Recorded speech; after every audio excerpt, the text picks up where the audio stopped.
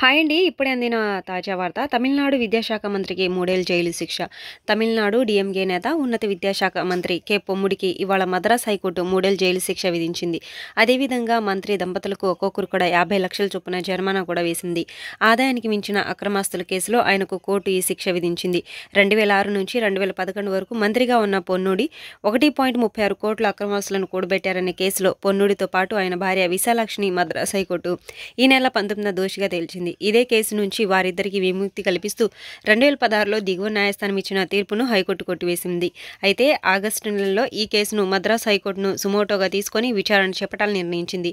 ఈ క్రమంలోనే ఇవాళ తీర్పు వెలువరించిన న్యాయమూర్తి పొన్నుడికి మూడేళ్ళ జైలు శిక్ష విధించారు. ఈ కేసులో ఆయన పైకోర్టును అప్పీల్ చేసుకునేందుకు హైకోర్టు ముప్పై రోజుల గడువు కూడా ఇచ్చిందన్నమాట.